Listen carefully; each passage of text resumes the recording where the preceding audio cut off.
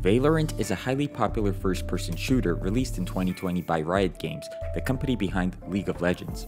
The game manages to feel both fresh and familiar by combining the fast-paced tactical gameplay of CSGO and the diverse character roster found in games such as Overwatch and Apex Legends.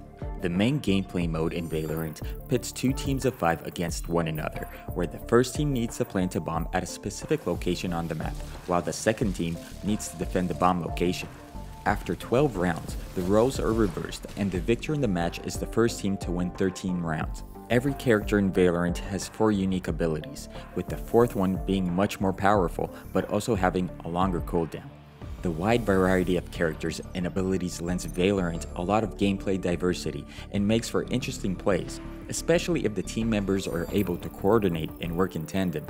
Valorant is free to play, but unfortunately for Mac users, it lacks a native version, so alternative methods need to be employed in order to play it on a Mac. We really wanted to help our viewers play Valorant on their Macs, so we tried different potential workarounds. We searched for cloud gaming services that support the game, but it seems that no such service has Valorant in its library at the moment. Then we tried running the game via Parallels and Crossover, two other popular Mac gaming methods, but there we hit another roadblock. Unfortunately, the anti-cheat system of Valorant doesn't allow the game to run in Parallels virtual machine or through Crossover's compatibility layer. This left us with only the bootcamp option, which involves installing Windows in a separate partition and running the game there. This is where we finally got a breakthrough, and we were able to play Valorant on a Mac. However, this method works only on Intel Macs because the Bootcamp Assistant doesn't work on an M1 based model. This means that there's currently only one viable workaround that can lead you to play Valorant on a Mac, and that is to use the Bootcamp Assistant app. Since this method is only available for Intel-based Macs, at the moment it's not possible to play Valorant on an M1 model. A quick note before we continue. While searching for potential methods to play Valorant on an M1 Mac, we came across different videos and articles claiming that they have the solution.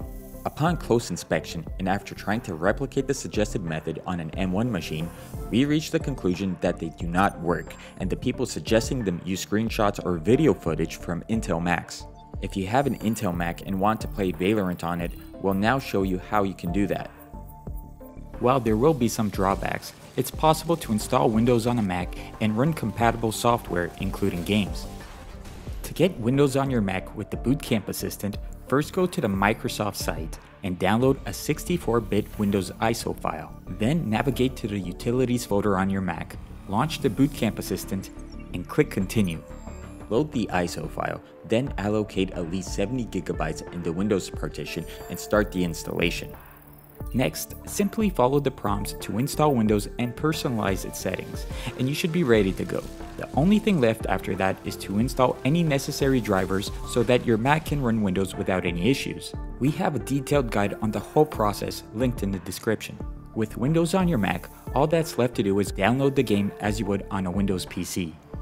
For a 2020 game, Valorant has very low system requirements, so even older Macs can run it. Case in point, we tested the game on a 2016 MacBook Pro and we got acceptable performance after applying several optimization tricks that we'll show you now. First, type graphics settings in the start menu and open the first result. Click browse, navigate to the games folder, select its icon and click add. Select options, enable the high performance settings and click save. Now go to the games folder again, right click it, Open Properties. Select the Compatibility tab and set the compatibility mode to Windows 7. While there, also check the Disable Full Screen Optimizations, then click Change High DPI Settings, enable the Override option, and click OK on everything. Lastly, don't forget to lower the in-game settings before you start playing. This will significantly lower the game's image quality, but should provide you with a noticeably improved performance. Of course, you can tinker around with these settings to see what works best for you. Once we applied all those optimizations, we got a relatively smooth performance considering we tested the game on a 6-year-old Mac. The FPS rate rarely dropped below 50, which allowed us to have some fun with the game, and should be more than enough for casual players. On a newer Intel Mac, the gameplay should be even smoother, and you'll be able to get away with using higher settings. In other words, you can absolutely play Valorant on an Intel Mac using the bootcamp method. Just to note that this will likely get your machine quite hot, which can be unpleasant for some users. In conclusion, the only method of playing Valorant on a Mac that's available at the moment is to use the bootcamp method, and this can only be done on an Intel Mac. If we learn of another way for playing Valorant on a Mac, we'll make sure to create a follow-up video where we explain the new method. In the meanwhile, if you know of a viable alternative to Bootcamp, do not hesitate to share it in the comments so that more people can learn about it. If you liked this video and found it helpful, we'd appreciate if you leave a like or a comment below. Also, if you want to see more interesting Apple related content, be sure to subscribe to our channel and ring the bell. It helps us greatly and allows us to keep making more videos.